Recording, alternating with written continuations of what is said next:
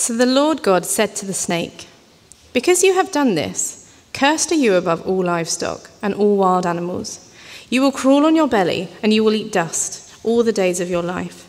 And I will put enmity between you and the woman, and between your offspring and hers. He will crush your head, and you will strike his heel. To the woman he said, I will make your pains in childbearing very severe. With painful labor you will give birth to children. Your desire will be for your husband, and he will rule over you. To Adam he said, Because you listened to your wife and ate the fruit from the tree about which I commanded you, you must not eat from it. Cursed is the ground because of you. Through painful toil you will eat from food from it, and all the days of your life. It will produce thorns and thistles for you, and you will eat the plants of the field. By the sweat of your brow you will eat your food, until you return to the ground. Since from it you were taken, from dust you are, and to dust you will return. Adam named his wife Eve, because she would become the mother of all the living. The Lord God made garments of skin for Adam and his wife and clothed them. And the Lord God said, The man has now become like one of us knowing good and evil. He must not be allowed to reach out his hand and take also from the tree of life and eat, and live forever. So the Lord God banished him from the Garden of Eden to work the ground from which he had been taken. After he drove the man out, he placed on the east side of the Garden of Eden cherubim and a flaming sword flashing back and forth to guard the way the, to the tree of life. This is the word of the Lord.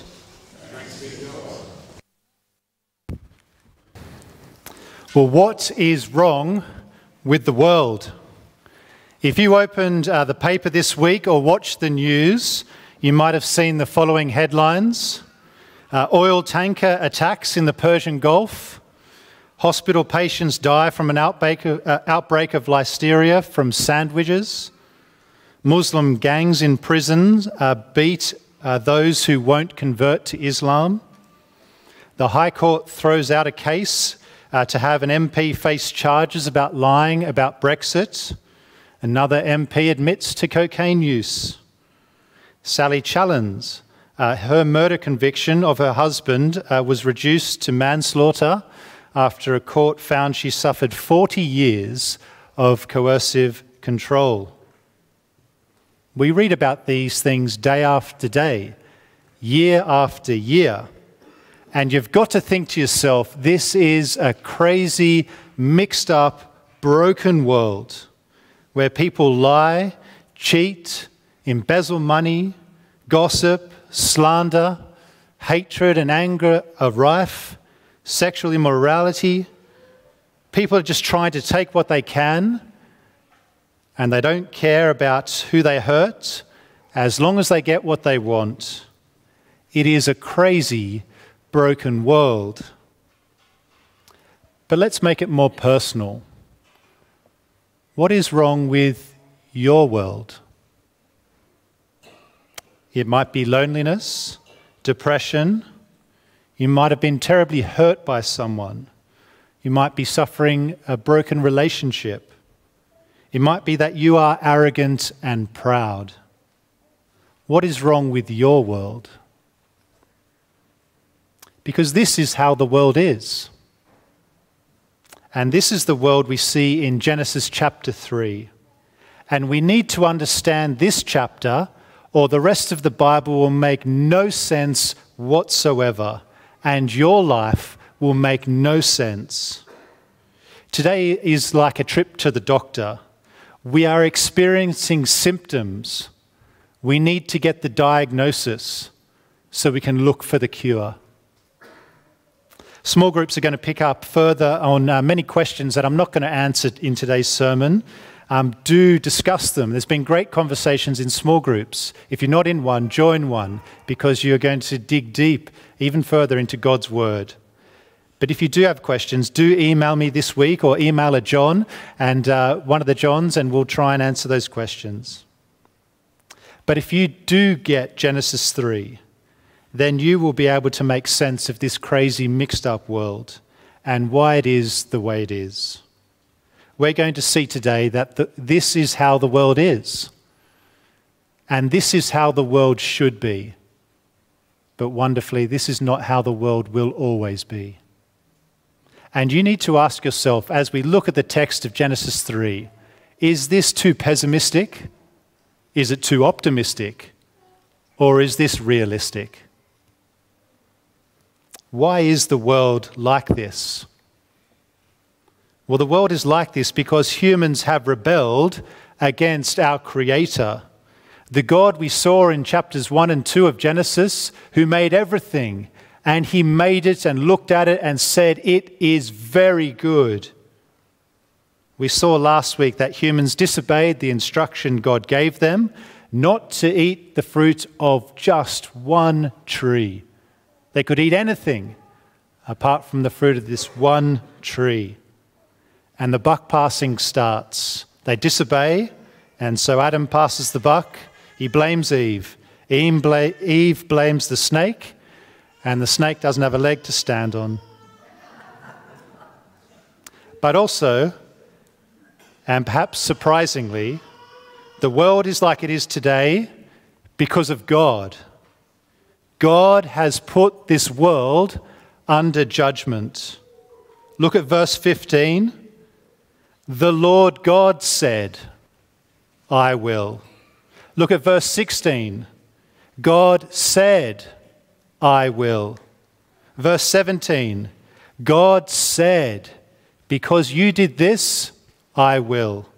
Or verse 22 to 24. God drove them out of the garden.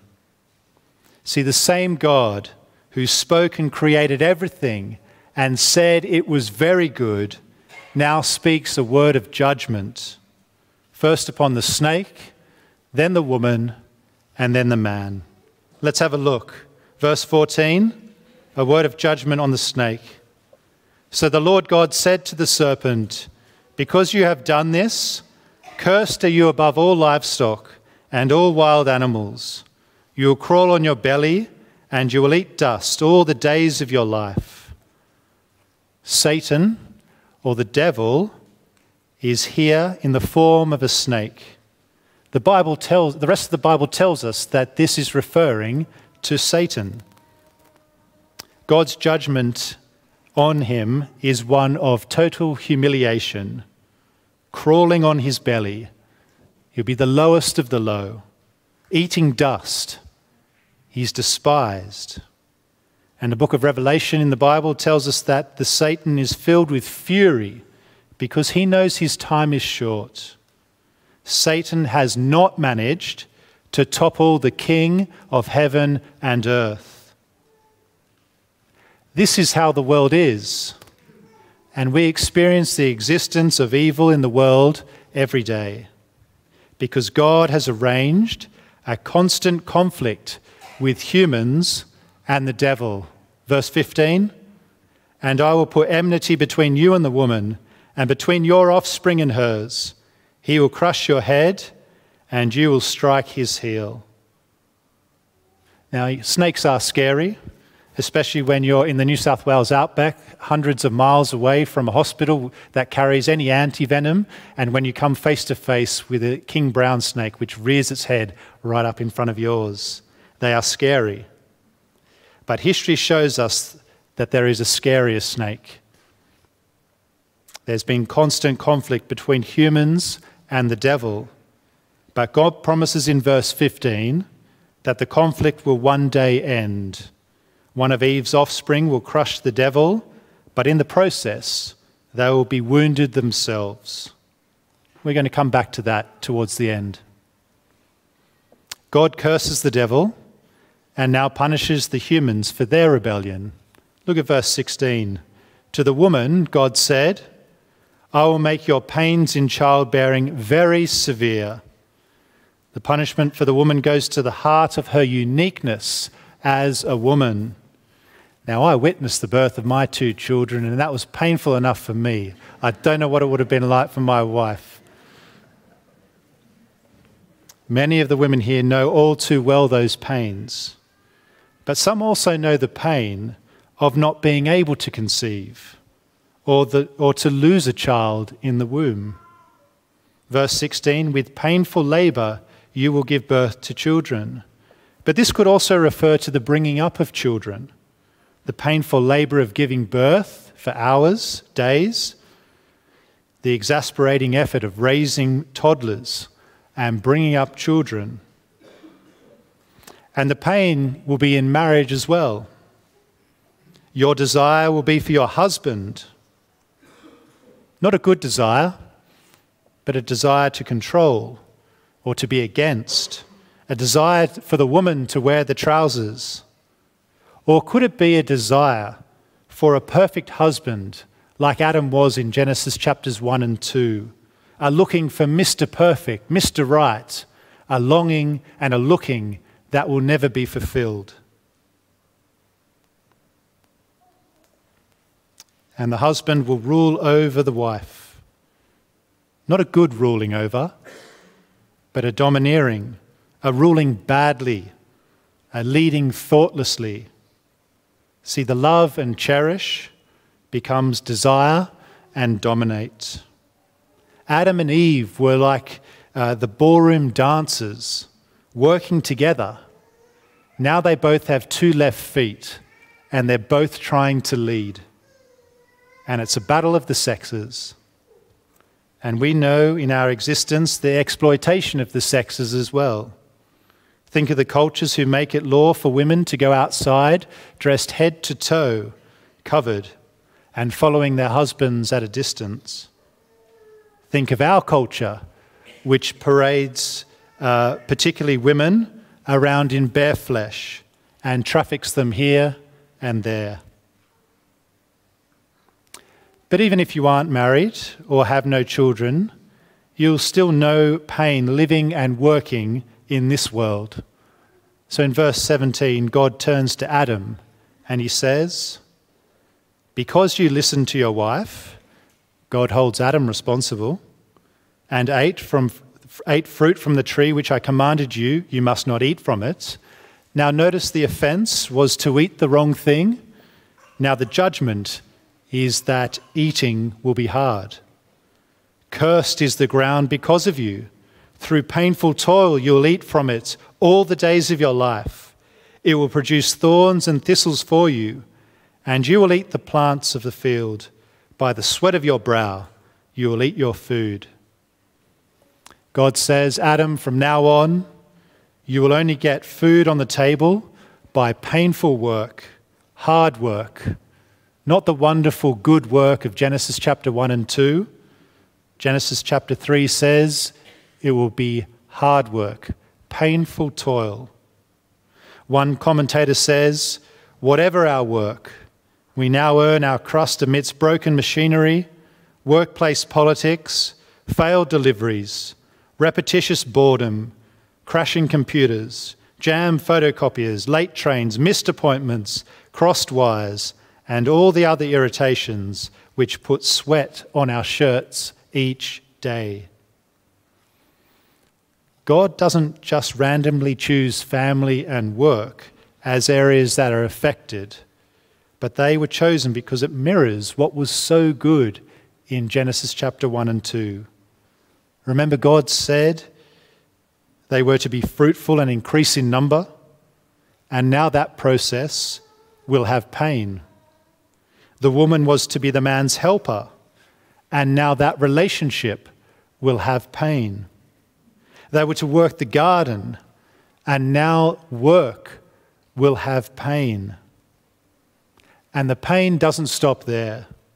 Pain will continue in verse 19 until death, until we return to the ground, since from it we were taken, for dust we are, and to dust we will return.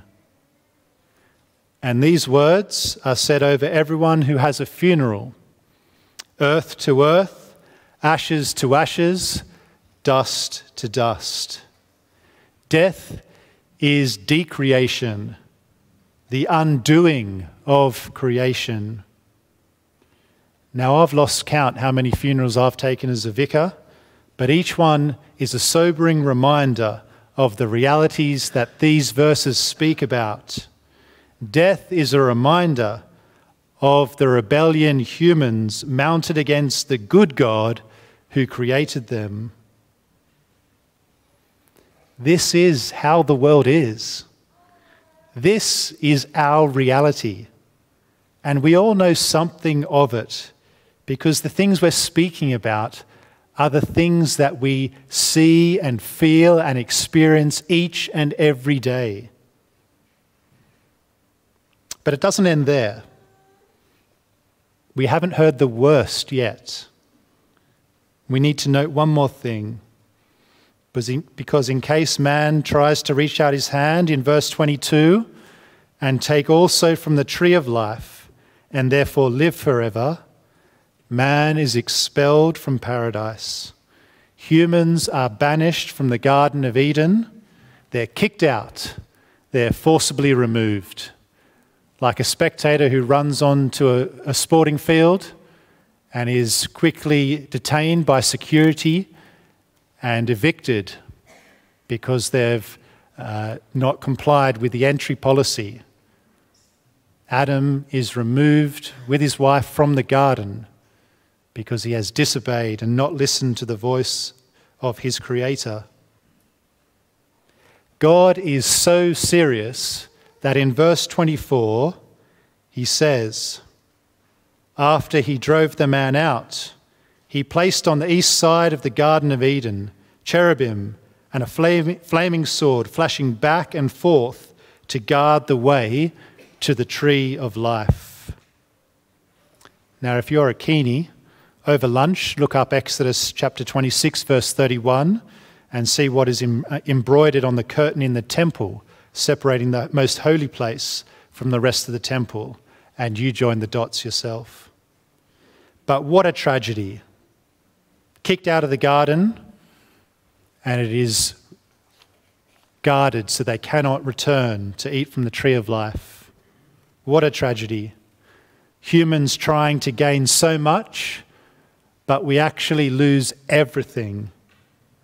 It's like the story of a gambler who was not satisfied with winning millions, but bet one more time and lost everything.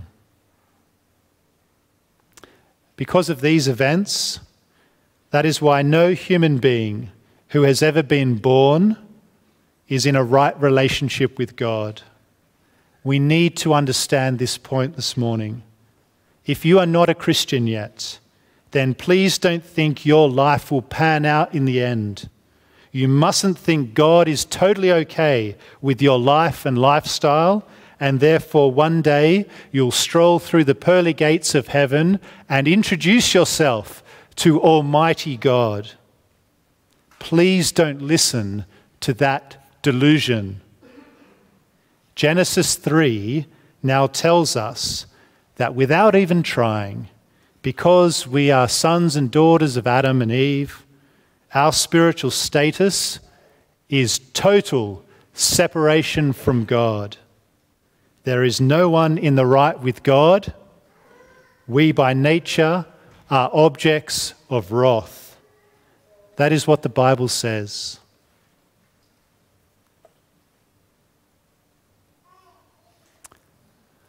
So, how can we fix the world?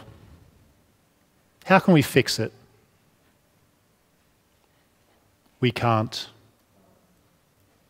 No one can get back to God by their own efforts. The Garden of Eden is lost. We have been shut out. And the soundtrack to our lives, I will do it my way, becomes a song of utter folly. Genesis 3 tells us we live in a world which is broken because we broke it and we cannot fix it. Everywhere we look, we see a reminder of this reality. And it's a good reminder that as summer approaches, there is no such thing as the perfect holiday. Yeah, let's pray for refreshment and time with family and friends but don't expect it to be perfect. Pray for your children taking exams, but don't expect education to provide the silver bullet for their lives. Pray for good health and healing, but remember we live in a Genesis 3 world of decay and death. Pray to be useful at work on Monday, but don't expect it to be plain sailing. There will be frustrations. Pray that this week God will show you in everything that you do, you are living in a Genesis 3 world, no longer a Genesis 1 and 2 world, which was very good. This is how the world is, and this is how the world should be. But wonderfully, wonderfully, this is not how the world will always be. Genesis chapter 3 tells us, against the backdrop of such a devastating picture of the paradise which has been lost, we still see God's great love for the world He made, but the world which turned its back on its Creator. See, God is not done with Adam and Eve yet. He could have wrapped things up in Genesis chapter 3 if you've got your Bible there, just flick over the pages and praise God that He continues to speak to us. God persists with sinful people, and the rest of the Bible is testimony to that. So let's look at the glimpses of God's love in these verses of, of chapter 3. Look at verse 15. There is an announcement of the one who will defeat evil someone will crush Satan's head. Verse 20 Adam then names Eve, which means life. Even after receiving the curse of death, he names his wife life. Now, I take this as possibly an expression of Adam's trust in the promise of verse 15 the promise of God to send someone who will fix what we cannot fix. He knows his sin and he responds with repentance and faith. He ate from the tree that God said not to eat from, and now God curses them, and he is filled with grief and remorse, but he hears God's word of promise, and he names his wife Eve which means life. And in verse 21, God punishes, but he graciously takes a life to cover their shame. And now in 2019, we stand in the privileged position to see how God did send the serpent crusher. And we read in Matthew's gospel the angel telling Joseph, You will, you will call him Jesus because he will save his people from their sins. And we see that Jesus went to the cross to take the guilt and shame of our sins away and to clothe us in his image again. And so we will be allowed to walk beside our Maker in the new heavens and earth. And you need to ask yourself is Genesis chapter 3 is it too pessimistic? Is it too optimistic? Or is this reality? I honestly think, and in many conversations this past week, that many of us are too optimistic about our sin, too pessimistic about God's free gift of new life in Christ. But here is the reality in Genesis chapter 3 Yes, it should make us grieve our sin. We should weep at our pride and our arrogance and rebellion against the God who made us and our inability to fix the problem ourselves. But then it should cause us to point to Jesus as the only one who can fix our deepest problem, the deepest problem of this world us. And this is what will help us groan with hope when we experience yet another imperfect day in this world. It will make us stand on tippy toes and long for the day when Jesus returns and those who have had their guilt and shame taken away and been clothed with the righteousness that He gives will be able to reach out and take from the tree of life and live with God forever. You see, there's a great promise in the last chapter of the Bible, Revelation chapter 22. We see a picture of the future made possible because Jesus has crushed Satan at the cross. And it is a picture of paradise regained. Then the angel showed me the river of the water of life, as clear as crystal, flowing from the throne of God and of the Lamb, down the middle of the great street of the city. On each side of the river stood the tree of life, bearing twelve crops of fruit, yielding its uh, fruit every month. And the leaves of the tree are for the healing of the nations. No longer will there be any curse.